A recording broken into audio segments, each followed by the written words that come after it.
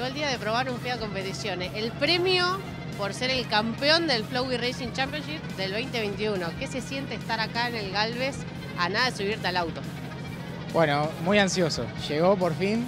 Eh, o sea, desde hoy a la mañana temprano que tengo como esa sensación en la panza de, no de miedo ni nada, sino de... Ansiedad. Claro, de, de- de descubrir cómo acelera, cómo frena, la velocidad ¿no? que levanta. Y bueno, por supuesto hacerlo bien, tratar de aprender, aprender bien de los coaches y ir preparándome de la mejor manera para poder estar competitivo o hacer valer bien el premio el día de la carrera.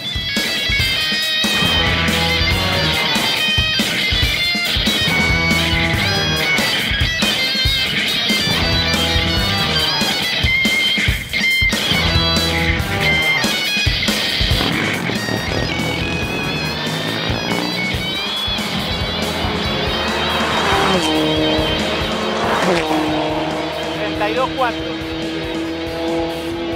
32-4.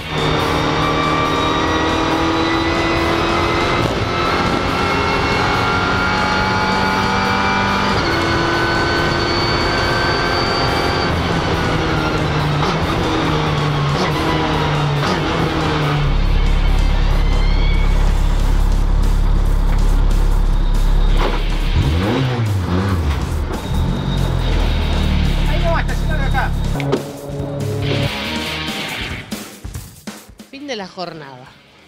10, 12 vueltas. ¿Cómo te sentiste? Bueno, parece poco, pero bastante productivo, la verdad. De menos a más, la primera tanda Lucas me fue corrigiendo con la telemetría. En la segunda ya con gomas un poquito mejor, bajé como dos segundos.